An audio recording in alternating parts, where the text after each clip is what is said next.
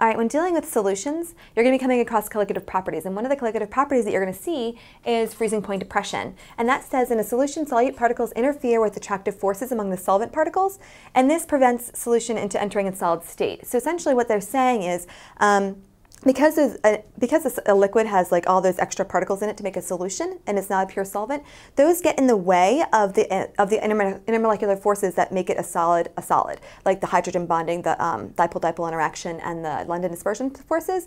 Those extra particles that are there kind of get in the way, and they actually have to like lower the freezing point to get to push those particles out. So it'll be a pure solvent when it's actually frozen. Um, freezing point states that the particles are no longer have sufficient kinetic energy to overcome intermolecular attractive forces. So when those um, when those particles are there, those those attractive forces are not necessary. So like they're going to have to push those particles out so they can actually have um, those inner particle attractive forces present.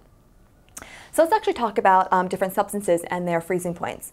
So we're talking about water, which is our universal solvent, and we know that water uh, freezes typically at zero degrees Celsius at, at normal freezing point. Now, for every molal of substance I'm going to put within that water, that pure substance, it's actually going to drop the temperature, uh, the freezing point temperature, by 1.86 degrees Celsius. Um, benzene uh, freezes at 5.5 degrees Celsius, a little bit higher than water.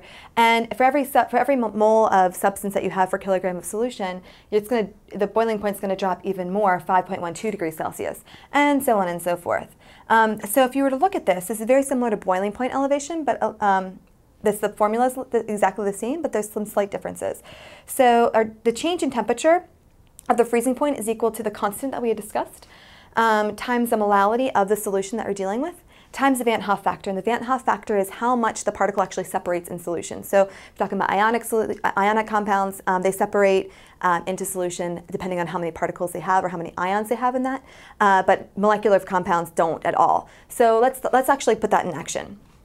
All right. So what is the freezing point of a 0.029 molal um, of NaCl aqueous solution? So we know it's aqueous, and that aqueous tells us that our solvent is water. So we're going to say our delta T, our change in temperature of the freezing point, is going to equal to the constant of water, which is 1.86 degrees Celsius for every molal. And the molal solution is 0.029. And because it's NaCl, I know it's ionic, this, um, for every one molal, it's going to actually separate into two substances, Na plus and Cl minus. So we're actually multiplying, multiplying this by two. We have two substances when it's in solution. So when you multiply all these together, you get negative, oh sorry, you get 0.11 degrees Celsius. Um, and we're going to say, all right, our original uh, boiling, or sorry, freezing point is zero. We're going to it's going to lower by 0.11. And so our new boiling point, I mean, sorry, freezing point is 0.11 degrees Celsius, negative, because uh, it dropped that much.